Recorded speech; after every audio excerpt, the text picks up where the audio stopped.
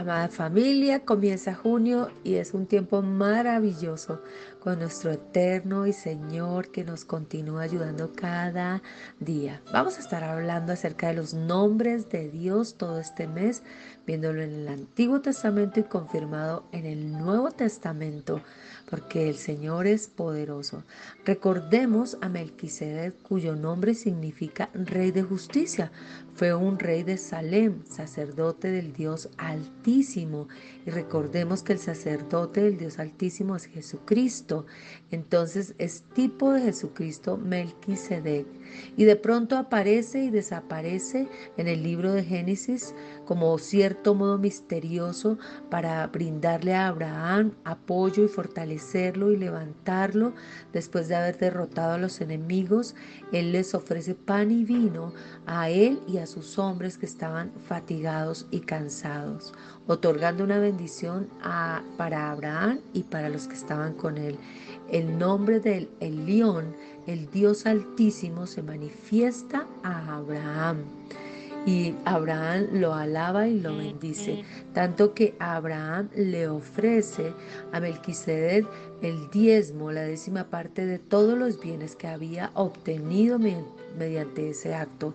Abraham indicó que reconocía a Melquisedec como un sacerdote que estaba espiritualmente por encima de él. Génesis capítulo 14, versículo 18 al 20. Y Melquisedec, rey de Salem y sacerdote del Dios Altísimo, le ofreció pan y vino. Luego bendijo a Abraham con estas palabras, que el Dios Altísimo, creador del cielo y de la tierra, bendiga a Abraham. Bendito sea el Dios Altísimo que entregó en tus manos a tus enemigos. Entonces Abraham le dio el diezmo de todo. El Dios Altísimo significa que está más arriba de todo. El Dios Altísimo es el que te cubre, te protege, te guarda y te guía. El Elión, el Dios Todopoderoso, nombre hebreo. El Elión, en español, el Dios Altísimo. Por eso en esta hora te bendigo y declaramos al Dios Altísimo cubriendo y protegiendo nuestras vidas, nuestras casas, nuestras familias, nuestros hermanos en Cristo, todos nuestros amigos en el mundo entero, la cobertura de el Elión, el Dios Altísimo sobre ti, bajo la sombra del Altísimo estamos acampando y Él nos guarda y nos cuida.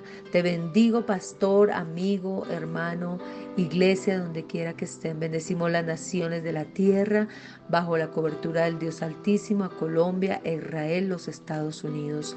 Y declaro un día de bendición. Un feliz jueves.